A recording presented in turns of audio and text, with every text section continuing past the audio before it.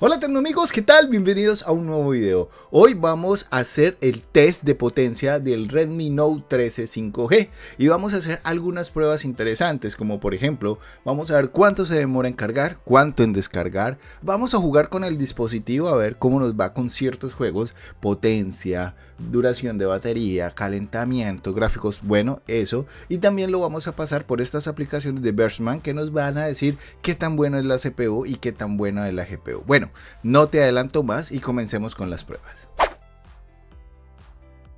Bueno, vamos a hacer la prueba de carga de este Xiaomi Redmi Note 13 5G.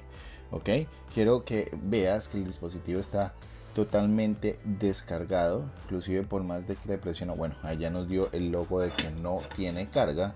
Y aquí tengo mi información, mi tabla, donde voy a llenar diferente información importante, como por ejemplo, estamos en el minuto 0, 0% de carga, pero también quiero eh, el tema del cargador.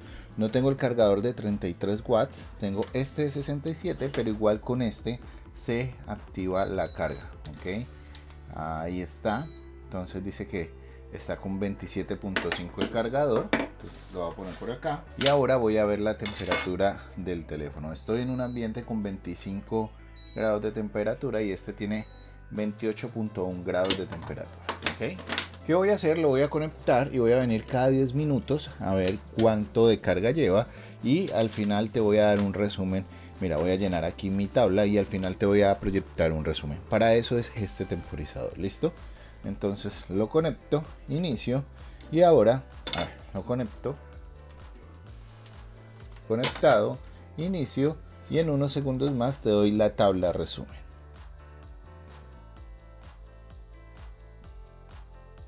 Ahora vamos a hacer el test de descarga de este Xiaomi Redmi Note 13 5G. En este momento puedes ver que el dispositivo está al 100% de batería. De hecho lo voy a poner a correr más porque ya está descargando la batería. Y para hacerlo más extremo lo que voy a hacer es voy a subir el brillo de la pantalla al máximo. Le voy a quitar este brillo automático ¿verdad? Adicional a eso voy a encender la linterna, como lo puedes ver en este momento.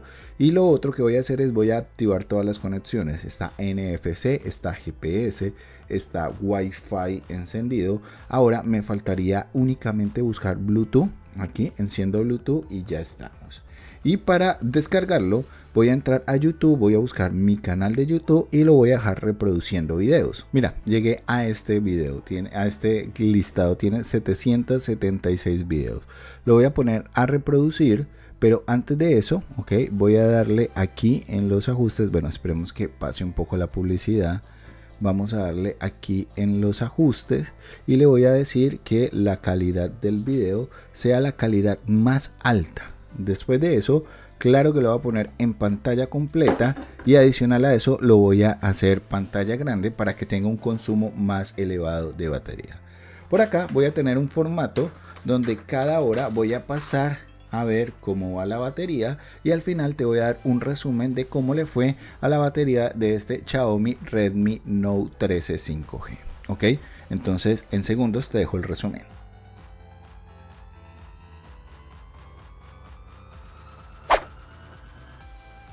Bueno, un amigo, y si aún no te suscribes, por favor, suscríbete a este canal. Recuerda que es totalmente gratis y me ayudan muchísimo. Por aquí está el link de suscribirte.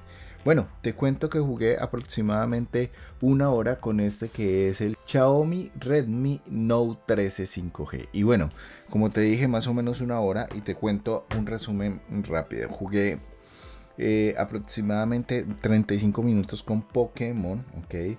Pokémon me corrió con gráficas en máximo a 60 fotogramas por segundo y su temperatura se elevó solamente 8 grados y ahí se mantuvo 38.5 grados. Después jugué otros 30-35 minutos con PUBG.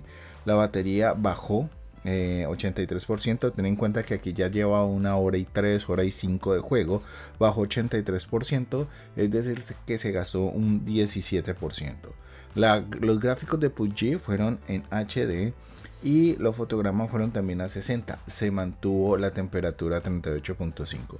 Si hago una eh, cuenta así súper rápida, Quiere decir que si se mantienen estas mismas condiciones de juego, podrías jugar aproximadamente 7 horas ininterrumpidas con este Xiaomi Redmi Note 13 5G. Bueno, esta fue nuestra prueba de juegos. Vamos con lo que sigue. Y ahora llegamos a la parte de los Birdmatch con este Xiaomi Redmi Note 13 5G. Te recuerdo que viene con un procesador MediaTek Dimensity 6080 y una tarjeta gráfica o una GPU Mali G57. Entonces, hablando de la misma tarjeta gráfica, entramos aquí a este que se llama 3D Mark.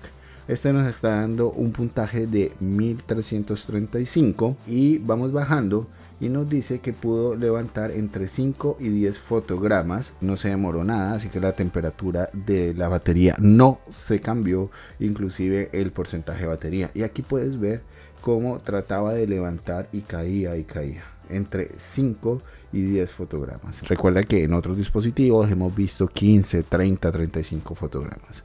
Ok, ahora voy a cambiar, voy a irme al Givenchy, Givenchy 6, ok y aquí ya tenemos los resultados de este dispositivo. Comencemos, nos dice que en un solo núcleo está en 694. Vamos a ver, no alcanzamos a tener ninguno por debajo.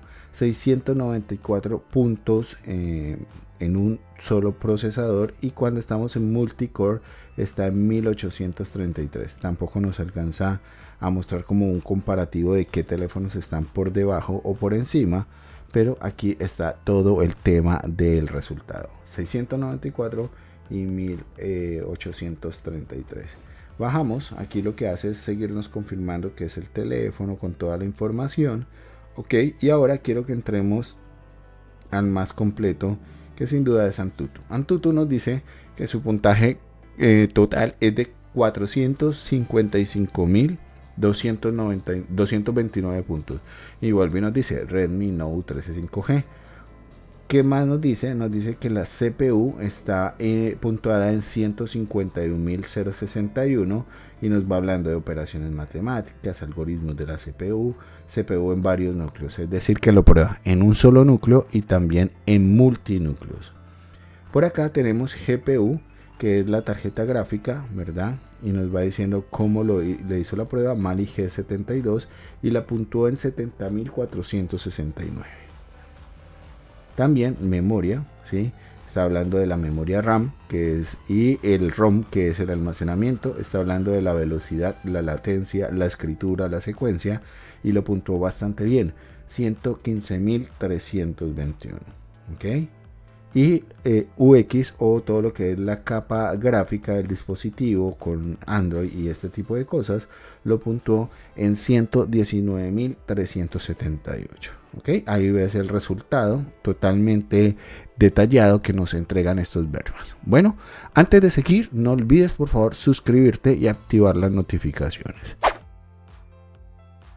Tenlo amigo, espero que estas pruebas te hayan servido y te hayan mostrado la potencia de este dispositivo y te ayuden a tomar una decisión acerca de si lo compras o no.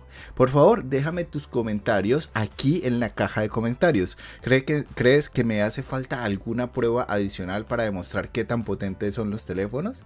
De mi parte no es más, Tenlo amigos. Gracias por ver este video, nos vemos en un próximo video. Chao, chao.